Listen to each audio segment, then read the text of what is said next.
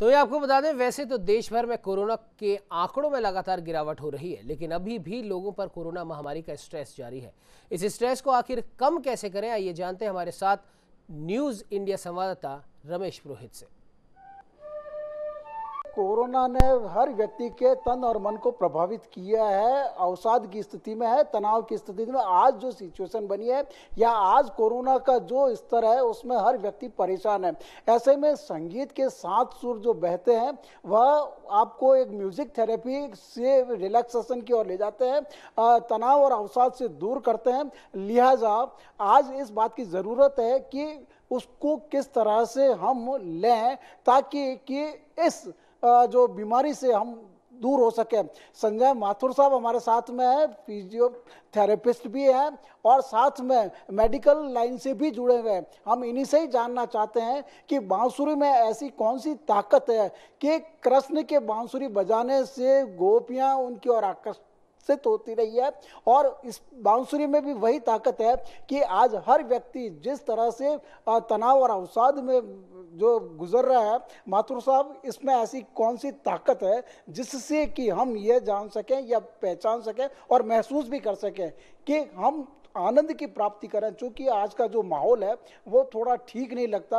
हर व्यक्ति कहीं न कहीं तनाव और अवसाद में ग्रस्त है। लिहाजा बांसुरी और संगीत थेरेपी को जोड़ते हुए हम इस जो कठिन जो माहौल गुजर रहा है उससे हम थोड़ा सा रिलैक्स महसूस करें।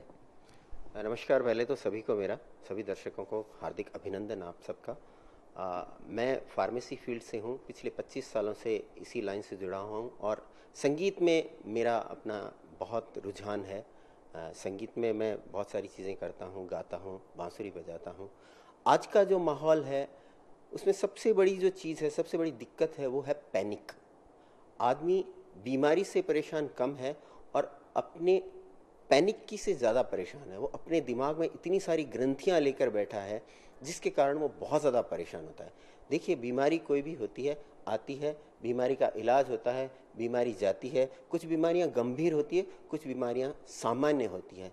लेकिन अगर आप मन से स्ट्रांग हैं, आप कॉन्फिडेंट हैं तो आपका इलाज करने में डॉक्टर को भी आसानी रहती है, आपको ठीक होने में भी वो बहुत हेल्प करती है।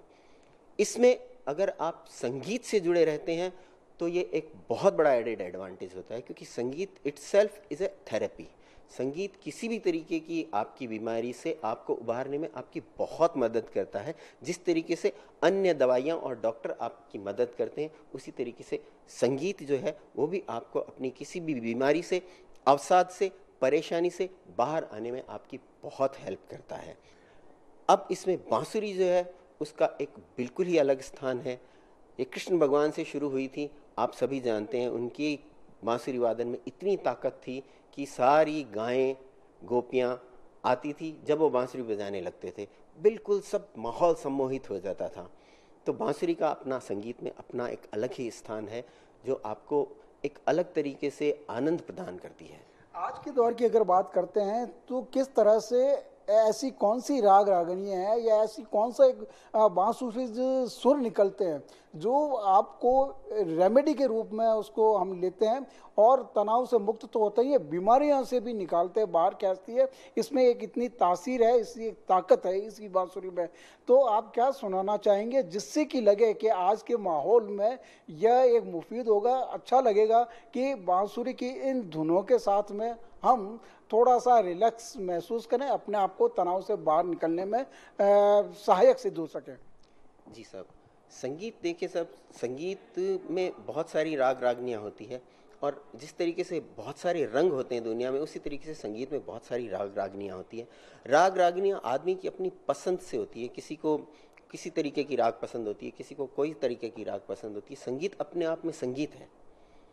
कोई सी भी राग हो, कुछ कैसा भी संगीत हो, जो आपको मन को अच्छा लगे, वो आप सुने, वो आपकी हमेशा हेल्प करेगा। मैं एक छोटा सा आपको पीस बताता हूँ जिसमें मैं दो तीन गाने मिक्स करूँगा और मालगुडी डेज़ एक सीरियल बहुत पहले आया करता था, जो अब फिर शुरू हुआ है, पिछले इसी हफ़्ते से। मैं उसकी जो शुरुआत की ट्यून है, वो उससे शुरू करता हूँ और उसको आपको संगीत की दुनिया में लेके चलता हूँ अगले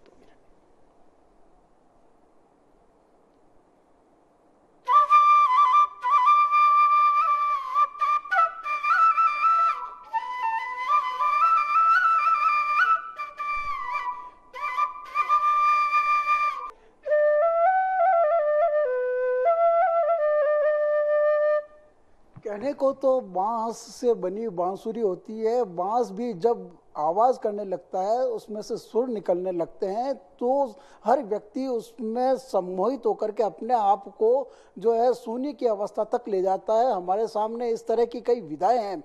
कोरोना काल में आज इस बात की ज़रूरत है कि आप मनपसंद कुछ भी सुना, लेकिन अगर सात सुरों से निकलती हुई आवाज़ आपके अंदर तक पहुँचती है